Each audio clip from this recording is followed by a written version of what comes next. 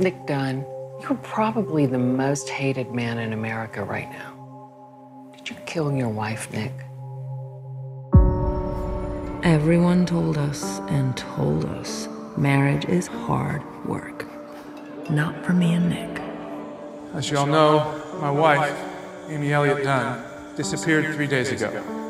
I had nothing to do with the disappearance of my wife.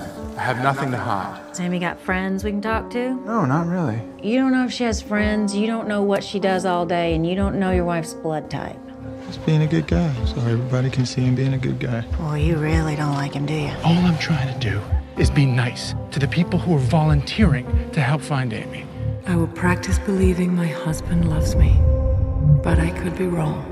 You ever see that guy in the glasses before? Amy is the kind of girl who attracts admirers. Whoever took her is bound to bring her back.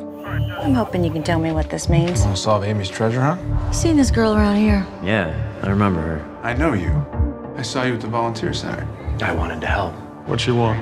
She wanted a gun. We are all scared, but we are all here now. I feel like something to be jettisoned if necessary. I feel like I could disappear. The hallmark of a sociopath is a lack of empathy. Amy lost a lot of blood in there. Then somebody mopped it up. Why do they mop up the blood if they're trying to stage a crime scene? Whatever they found, I think it's safe to assume that it's very bad. I'd finally realized I am frightened of my own husband. I would show you, as if you're doing a deposition, what to say, what not to say. A trained monkey? A trained monkey who doesn't get lethal injection. She's going to eat you alive. You assaulted her? It's not good enough for you? I hit her? It's not even close. Absolutely not. I never touched her.